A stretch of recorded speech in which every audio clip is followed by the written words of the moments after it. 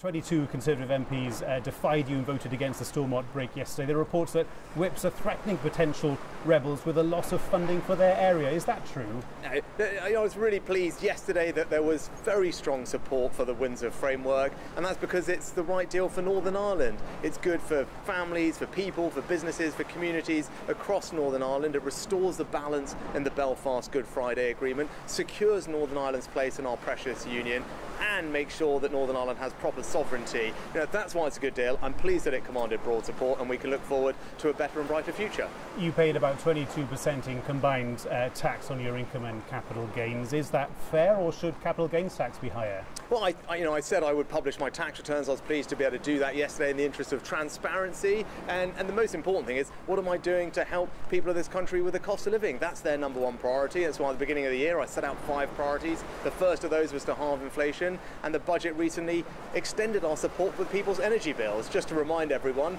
you know, I took a decision to tax the windfall profits of big energy companies, 75% tax rate on those, and we're using that money to help pay for around half of everyone's energy bill over this winter. It's worth £1,500. That's the actions of this government. That's what we're doing.